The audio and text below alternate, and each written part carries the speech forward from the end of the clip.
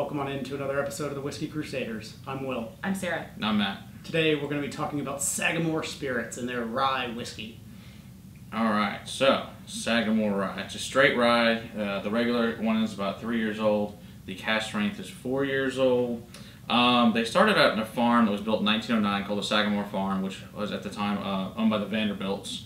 And they get their spring-fed water from the aquifer that is there currently, which is what they truck in 22 miles from there to the distillery, which was built, starting to be built in 2015. It was finished uh, a couple years ago. Their own distillate is going to the barrel starting in 2017. So what we currently have, these are MPG sourced uh, whiskeys. Um, what's nice about this is a Maryland style. So back in the day, Maryland used to have 44 distilleries and uh, before Prohibition. After that, most of them shut down. A few uh, during World War II were used for ethanol plants. Then basically there was nothing, and until um, the late 2000s. Finally, then started showing up. Uh, so Kevin Plank is the owner of Sagamore. He's also the majority owner of, so I think, someone of Under Armour, which I think also you have heard of. So they're big into doing everything right there. They have a 40 foot column Vendome uh, copper pot, copper column still. They also have a 250 gallon copper pot sleeves for um, experimentation and whatever. So they're big into all these diamonds. They've got the three diamonds on it. They've got three diamonds on there. On their lid, on the cork, it's ever everywhere. So they're really into. yeah, it's on the bottom. The- and so this is the Mar- a lot of this is the Maryland flag, so they're really into it. So that they've got three main core products, which is the regular 83 proof, the cask strength, and their double oaked. And so uh, let's get into the uh, tasting here. So We're going to start off with the regular expression that they do. yes, and so the mash bill on this is 53% rye, 42% corn, 5% barley, mixed with a combo of 95.5. So Maryland style rye is always going to be a low uh, rye compared to Monongahela, which is Pennsylvania style, which is always going to be that high rye 95.5. So they comboed it from from MPG. Very similar to High West's Double Rye. Kind I of the same that. concept. Yeah, yeah, yeah, exactly, kind of like that. Yeah. You get your typical pickle note, but I also get a lot of the sweet mint. hmm Mm-hmm. Corn dustiness. Mm-hmm. Definitely new oak. Yeah, vanilla, dill, rye bread, mint, and pickles. Yeah, like most ryes for me, I have a hard time getting past that pickle. hmm it's a lot of relish. But I get a lot of a the a sweet mint, not like your Right. peppermint or your spearmint, but it's it's sweeter. So, but I do get the peppermint, but I also get like sweet relish, and mm-hmm. anise and uncooked dough. Uncooked dough. Yeasty. Yeah, very yeasty. But it also is like an oily perfume. And then if you ever stick your head in a bag of potato chips, like Ruffles when they're gone, it smells kind of like that too. When the when the bag of chips is empty. Yeah. Do you do that often? Because I'm Longing, for more chips. never stuck my head in a bag of chips. That's a safety concern. Not all the way. You, know, you just smell it. You know. Safety concern. Smells good. I like it. Don't let children play with plastic bags. You know, yeah, that would be bad. That's, yeah, definitely don't do that. Or Matt, for that. We advise against playing with plastic bags on your heads. It's a safety Or concern for all. All. But yeah. But their farm they do have is it's 530 acres and it's a equine farm as well, and they truck in like I said their water, but they have um, several horses that have been into the major races. Native Dancer being one of them, and I guess they said in the 08 Derby, every single horse in that Derby was related to Native Dancer, which is pretty wild when you That's think pretty about it. On the on the palate, it was a lot of anise. Um, I pick up more that 95% rye than I do that 50% rye. Um, it was okay. Uh, it's just really kind of again just not my cup of tea for the most part. Um, yeah. Yeah, I get some of the anise, but I get mostly the pickle. The Mhm. more it's sitting here opening up, the more pickle comes forward for me. Um, at first, it wasn't as pickle forward as it was the, the mint forward, but now it's just all pickle, pickle, pickle. Yeah, I get vanilla, oat. It's oily. It's also bready and minty. Um, I get butterscotch and creamy. I really enjoy this. I think this is a good, uh, for if you're not into rye, especially the high rye. Right. in general, this is a good rye to cross over. Especially if you're a bourbon drinker, this is going to be more of your style, I think, to start getting yourself into rye. There are more of the vanillas and more of the caramels. In I. Yeah. I agree with that completely. And you can always you can you can see the difference between the fact that Matt likes rye and we are not fans of rye. I love rye. Where you know we have a hard time getting past that pickle and that mint. Right. You know, unlike you who enjoys it. Yes, I do like it.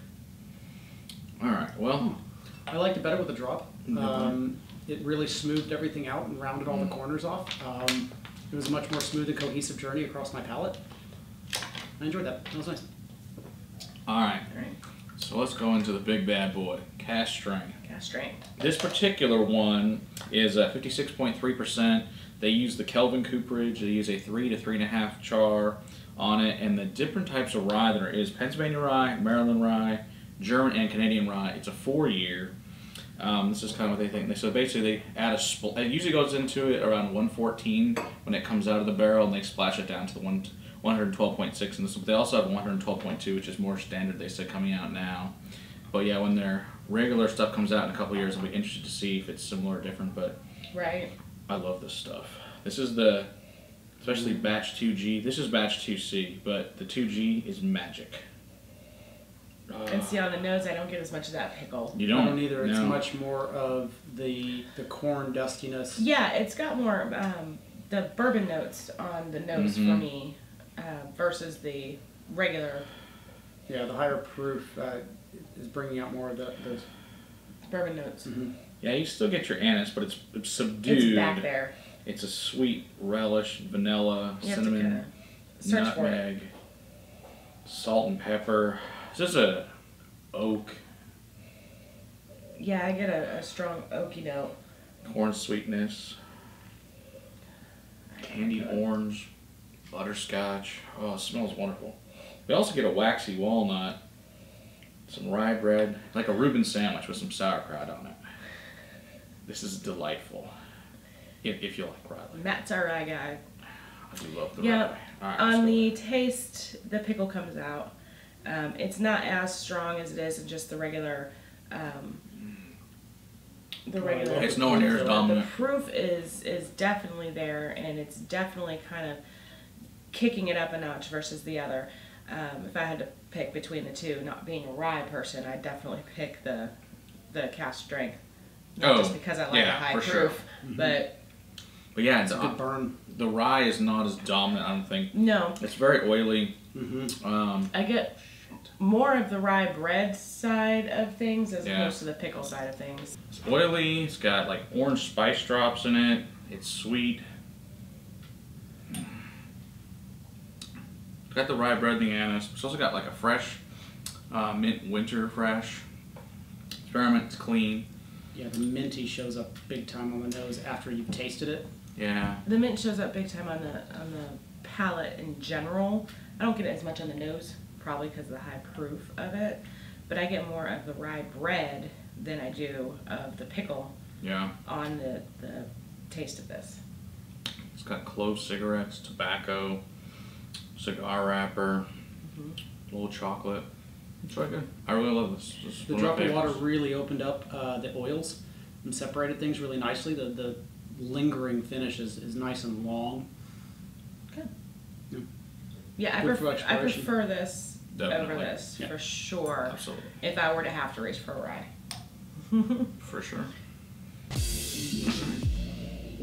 Until next time, keep on crusading for better whiskey in your glass. Cheers. Cheers.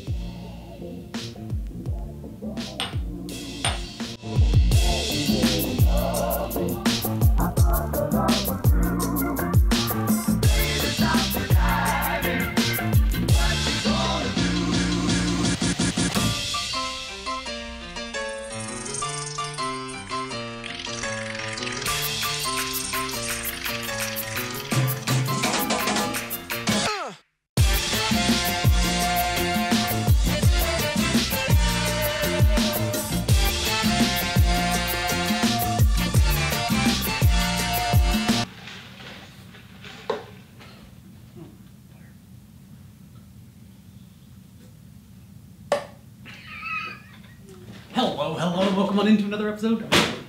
Shit.